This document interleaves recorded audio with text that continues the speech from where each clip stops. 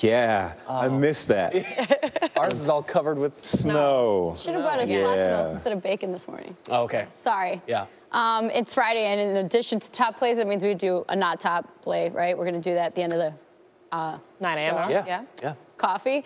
I love that that family's name is Ball. Yeah. Yeah, It's perfect. because that's what they do. Uh, That's appropriate. How'd you like to be their neighbor, though? It looked like the houses were close together. You had a dribbling basketball All the time, all day, all Yeah. night. S- Sitting in there trying to get your Sudoku done, and you just got that ball out there.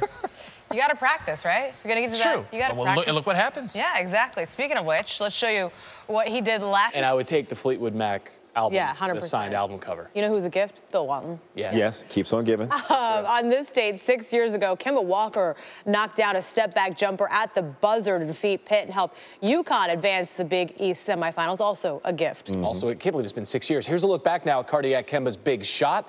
It- Birdie with us on SportsCenter AM this morning. So we've seen it uh, with Russell Westbrook playing at his absolute best and maybe getting just a little bit of help from his teammates.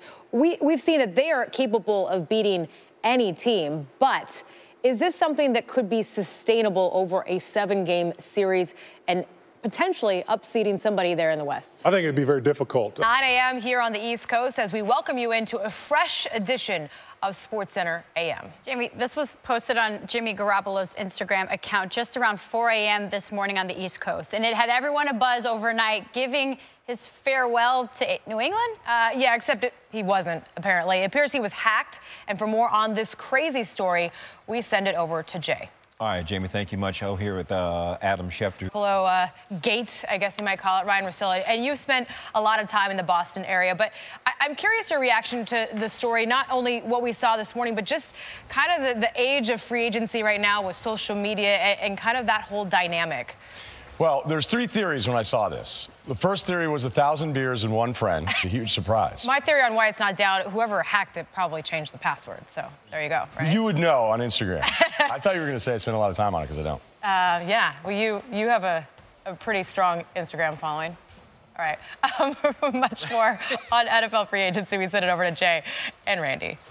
All right, we're getting the crew assembled. Giving. So, okay, what are we to take away from that about Dave Pasch? Is he anti-environment, anti-children? Pac-12. There was a lot of insinuation anti, going on. sounds like he it. just sounds just anti. Just anti. But not anti-Fleetwood Mac. No, no, and not anti Bill Walton, although Maybe, maybe he is. he now. Maybe. good to have co-host of the Six, Michael Smith, with us. Um, Morning. yeah. Feel Good Friday. okay. All right, we've been talking about this all morning, and I don't know how much you're going to divulge. Y'all, uh, have y'all given away anything? No, we, we haven't. no, Not a no, thing. no. We Lips just are said there's something coming up. Right, because y'all a big part of this. Yeah, You, we've done. We're a part, We right? just saw all A the, the, the spoofs. You, what you gonna tell us about the latest one? Insider scoop gang. It's like Yes, Up did. there. the Patriots will never allow a player, even if you're trading him somewhere else, to announce via social media At that he's 4 out. a.m.. And he's certainly not going to say "Peace out, Boston." No. Some publicists gonna write a better caption than that. So it's, it's